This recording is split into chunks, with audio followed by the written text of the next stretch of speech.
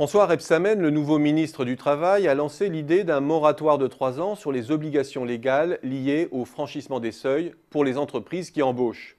Sans entrer dans le détail, le franchissement des seuils entraîne trois types d'effets pour les entreprises. Premièrement, des obligations nouvelles concernant la représentation du personnel assorties de crédits d'heures pour les représentants.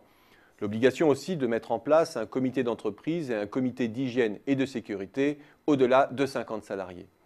Deuxièmement, le respect de multiples obligations sociales, règlement intérieur, obligations de repos, d'embauche de travailleurs handicapés au-delà de 10 puis de 20 salariés, l'instauration d'un plan de sauvegarde de l'emploi et d'accord sur les conditions de travail après 50.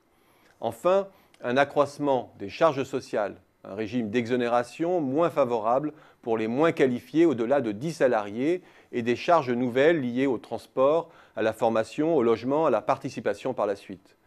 Ces seuils sont-ils une cause majeure de la difficulté française à faire grandir les PME et à générer ce fameux Mittelstand qui fait la force de l'Allemagne? Ces seuils sont-ils, en période de basse conjoncture, un frein à l'embauche? La complainte des entreprises est ancienne. Disons pour simplifier que les économistes en minimisent l'impact. Une étude de l'INSEE de 2011 fait notamment autorité en la matière. L'Institut note bien un décrochage du nombre d'entreprises au passage des différents seuils, et notamment celui des 50 mais il l'attribue à une sous-évaluation des effectifs dans les déclarations fiscales. D'autres sources, plus objectives, atténuent ces à-coups. Par ailleurs, l'INSEE note que la suppression des seuils lisserait la répartition des entreprises en amont et en aval des seuils, mais ne modifierait que très marginalement la répartition par taille des entreprises, sans annuler notre écart avec l'Allemagne. Un constat en forte dissonance avec la perception des chefs d'entreprise. Cependant, s'il n'y a pas de gisement d'emploi important à attendre d'une révision des seuils, il n'en reste pas moins que le franchissement des seuils a un coût pour les entreprises. Soit parce qu'elles s'y conforment, un coût en temps lié à la complexité des dispositifs qui entraîne aussi la nécessité de renforcer la fonction RH, un coût financier direct aussi.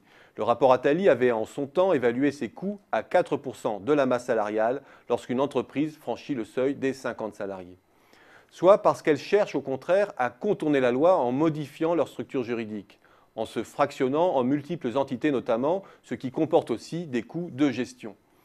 L'ensemble de ces coûts peut avoir un effet diffus sur l'ensemble du tissu productif, qui affecte moins la répartition de l'emploi que la compétitivité et le niveau général de l'emploi.